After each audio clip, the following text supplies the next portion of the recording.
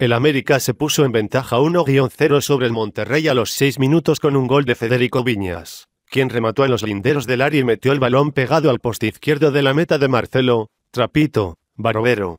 El tanto del uruguayo en un pletórico estadio azteca igualó 2-2 el marcador global en la gran final del torneo Apertura 2019. La ida disputada el jueves en el Gigante de Acero fue ganada por el Monterrey 2-1. Sin embargo, las Águilas tardaron solo 6 minutos en la vuelta para emparejar el marcador global tras el gran remate del futbolista Charúa, quien ha sido una de las figuras del equipo capitalino en la liguilla.